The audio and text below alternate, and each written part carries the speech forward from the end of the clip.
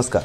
आप देख रहे हैं हरियाणा का उभरता हुआ चैनल, द वंदे भारत। बहुत ही जल्द गुरुग्राम से फरीदाबाद के बीच कम समय में मेट्रो सेवा का आनंद लोग उठा पाएँगे। इस रूट पर मेट्रो चलाने की तैयारी को लेकर जीएमडीए ने सर्वेक्षण का काम शुरू कर दिया है। साथ ही साथ काम देखकर पूरा भी कर दिया गया है। राष्ट्रीय राजधानी से सटे हरियाणा के दो ज़िले, गुरुग्राम और फरीदाबाद के बीच सीधा मेट्रो चलाने को लेकर जीएमडीए ने अपनी तैयारियों को तेज कर दी है।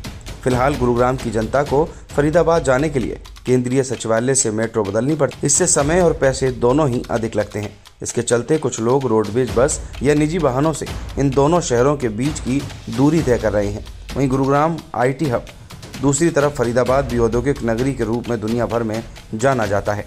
वहीं आम जनता समय से अपने गंतव्य स्थान पर पहुँच सकेगी और ट्रैफ़िक जाम से मुक्ति मिलेगी। इस रूट पर फरीदाबाद के बाटा मोड़ से गुरुग्राम तक जाने के रास्ते में कुल 11 स्टेशन होंगे। यह रूट कुल 32 किलोमीटर का होगा।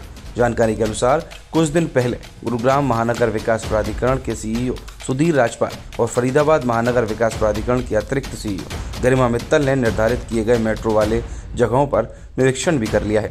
अब इसके बाद फरीदाबाद के बाटा चौक से हार्डवेयर, प्याली चौक, अनाज मंडी रोड, मस्जिद, जमाई कॉलोनी, गुरुग्राम रोड और पाली तक का दौरा किया। इस रूट पर पाँच साल पहले सीएम मनोहर लाल ने मेट्रो चलाने को लेकर घोषणा भी की थी। अगर आपको भी ये वीडियो पसंद आई हो तो इस वीडियो को लाइक कीजिए, शेयर कीजिए और हमारे चैनल को सब्सक्राइब कीजिए। नमस्कार।